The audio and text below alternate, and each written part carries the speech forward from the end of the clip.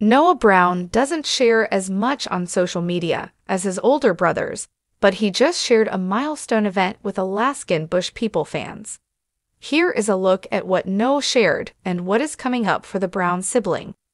Noah Brown is not as active on social media as his brother Bear Brown, who has become very prominent on both Instagram and TikTok. He also doesn't share as much as his brother Gabe, who likes to share his art poetry, and other creative endeavors with fans.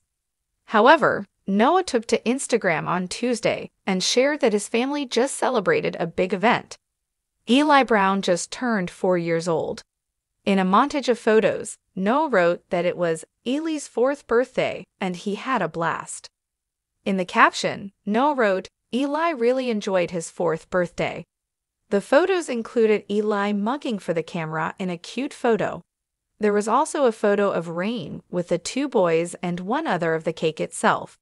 In the comments, Rhain wrote, he loved that cake, and Noah responded, Yes, he did. He was so excited. Noah Brown has two sons. He and Rhain welcomed their first son, Elijah Eli Brown, in February 2019, a few months after they got married. This was also Amy and Billy Brown's first grandson, despite Noah being the youngest of the brothers.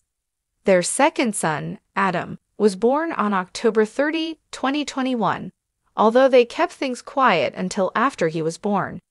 Outside of Noah's two sons, the only other Brown grandkids are Bear Brown's two sons, River and Cove, and Gabe Brown's kids, who are never seen on the show. The youngest of Bear's kids was born in January, but Bear and his wife Raiven Brown have since separated.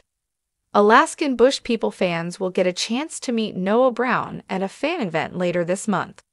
This event is called Hogs and Dogs and takes place on March 11 from 2 p.m. to 7 p.m. at Curly's in Post Falls, Idaho.